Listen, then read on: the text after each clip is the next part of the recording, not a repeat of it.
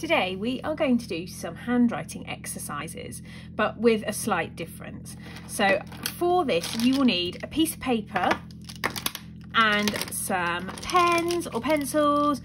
You could use gel pens, whichever you wish. You can do this along with me and you can pause the video if you need to. The first thing that we are going to do today is fold a piece of paper. Now this is something I would like you to try to do yourself without an adult helping because folding is an important skill that we need to practice. So make sure that those corners are lined up with each other and when they are lined up and perfectly neat you can squish that seam okay and we're going to do the same again. Match up the corners. Try and do it as neatly as you can and squish that seam. And then we're going to do it once more. Match up the corners and squish. Then when you unfold, you will have eight equal sized pieces. Now here I have got some mystery pieces of paper with some shapes on. I'm going to unfold one of them and then in that box we are going to fill that box with that shape. Let's have a go. Oh, a good one to start with. This is a circle shape. Okay, so in that first box, we are just going to choose a pen or a pencil and we are going to fill it with circles and they can be big ones or little ones. They can overlap or they can be on their own.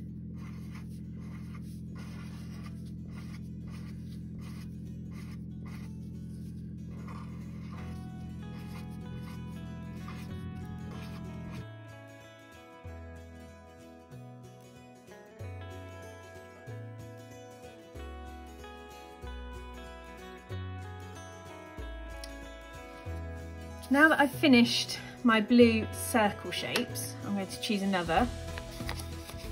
Let's see, what have we got here? Squares or diamonds, could be either way. We're going to do the same thing again.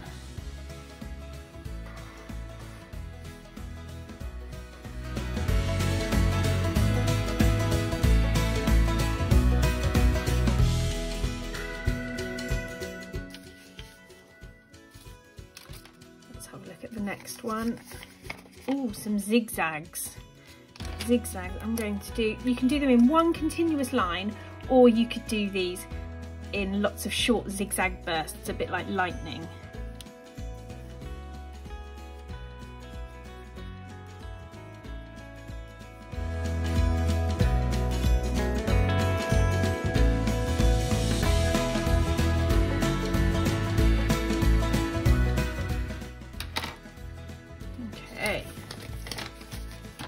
Next shape Ooh, it's like a little corner arrow. I'm going to choose, I'm going to choose red for this one.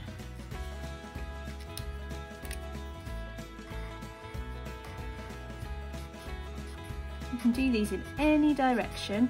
You can do little ones, big ones, ones facing downwards.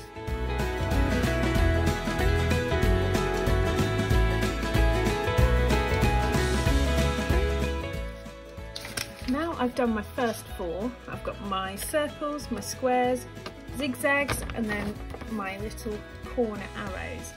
I'm going to turn my piece of paper around and I've got four more to have a go at. Let's lay them all out. I've got curly, waves, triangles, and loops. I wonder if you can have a go at these. I'm going to have a go and I'm going to speed it up so you can see what I'm doing really quickly. But I think you get the idea now.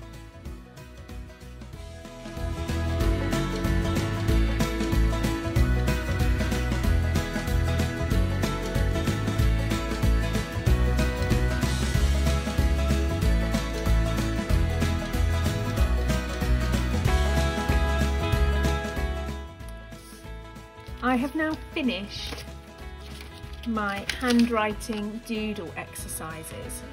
You can see that I've tried to keep the sizes mostly the same. Some of the shapes are a little bigger than others and some are smaller, which is fine. But with these ones in particular, the waves, I've tried to keep them all about the same height. This will really help with your handwriting strokes when we come on to that later on. But hopefully this is a bit of fun that you can have to practice those fine motor skills that you need when you are using your handwriting. But it's a fun way to do it and it, it helps to calm you down as well. So you can choose some of your favourite pens or pencils and have a go at this at home.